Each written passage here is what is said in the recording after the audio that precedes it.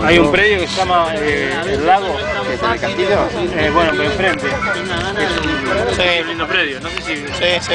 Para eso Es sí, cuestión de averiguar El predio lo conozco, para... sí. Vos, tenés ganas de participar para hacer un bien, podés.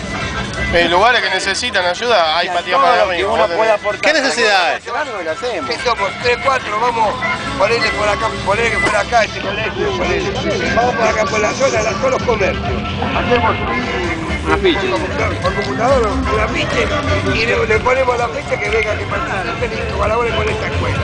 Y listo, lo ponen los comercios, la gente se va. O sea, mira, hay un tal. Todo es convocatoria. Lo que tiene más difícil de conseguir Bolo, es el lugar.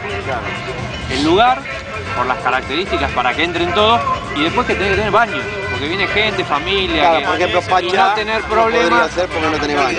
No tener problemas con, con lo que es municipalidad, policía, todo eso tenés que tener, o sea, pedir permiso, Acá está bárbaro. Acá está bárbaro. Por ahí. habría que ver. Vos hablas con el colegio, no, vos hablas con el colegio. Yo voy a averiguar. Vos hablas con el colegio, vas a la dirección del colegio, le proponés que hacemos una reunión donde al colegio. Si el colegio, escúchame, si el colegio le falta pintura, no puede aportar. el colegio puede ya averiguar. Habla colegio vos estás ayudando a un colegio que, está, que le faltan cosas. No le vas a sobrecargar con otras cuestiones más. Si no, de última se que ver.